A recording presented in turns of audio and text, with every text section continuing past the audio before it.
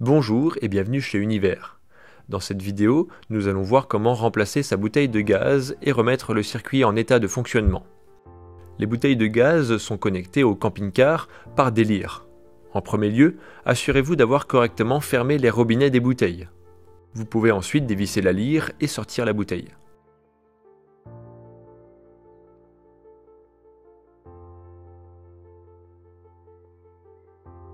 Remettez en place la nouvelle bouteille et faites-la pivoter de façon à ce que la lyre puisse s'y connecter sans effort.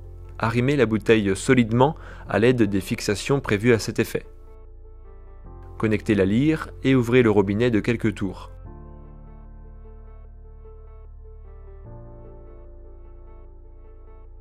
La plupart des camping-cars ont un système de sécurité. Il est parfois nécessaire de le réarmer après chaque changement de bouteille. Un appui maintenu pendant quelques secondes suffit à le remettre en service. Allez maintenant à l'intérieur du véhicule et allumez un des feux de la plaque de cuisson afin de purger le circuit.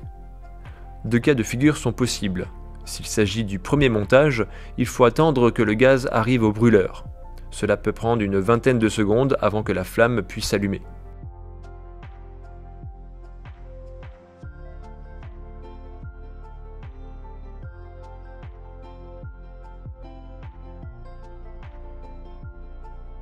S'il s'agit d'un remplacement, l'ancien gaz est encore présent et la flamme s'allume immédiatement.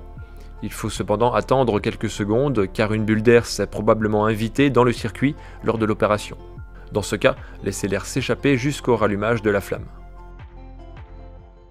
Le circuit de gaz est maintenant opérationnel dans votre camping-car ou votre caravane.